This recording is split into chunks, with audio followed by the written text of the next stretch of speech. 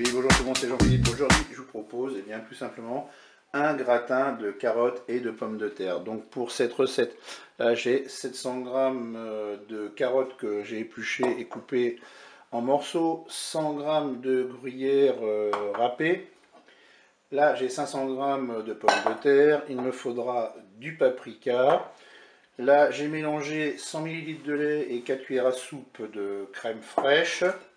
Là je rajouterai aussi 100 euh, ml de vin blanc. Il va nous falloir du sel et puis du poivre, tout ça. C'est selon votre convenance. Et bien sûr, on aura besoin d'eau pour la cuisson. Et eh bien, c'est parti pour la recette. Allez, c'est parti. Je vais mettre mes pommes de terre euh, dans la cuve. Je vais faire la même chose avec les carottes. Et puis là, je vais prendre de l'eau. Là, j'ai 600 euh, ml.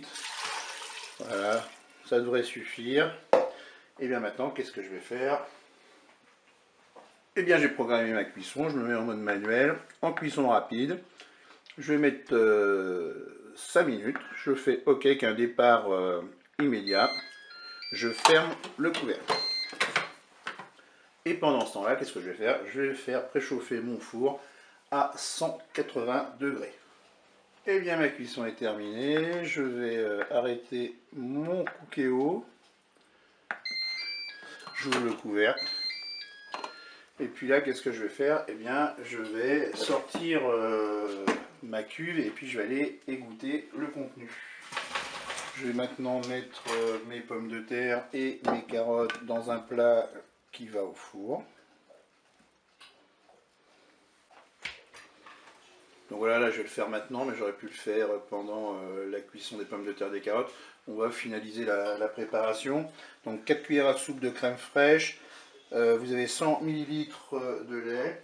On va rajouter à cette préparation 100 ml de vin blanc.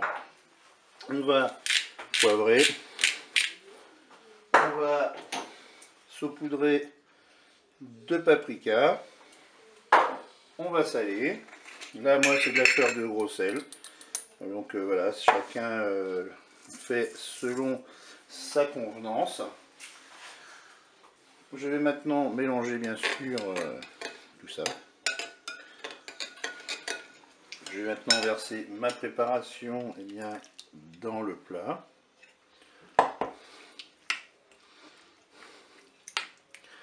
On mélange. Allez, maintenant, je vais mettre mon gruyère euh, râpé que je vais répartir euh, sur l'ensemble de mon plat. Là, j'ai 100 g de gruyère râpé. Et puis, bah, je vais placer mon plat au four. Donc, je vais faire 10 minutes en cuisson euh, à 180 degrés.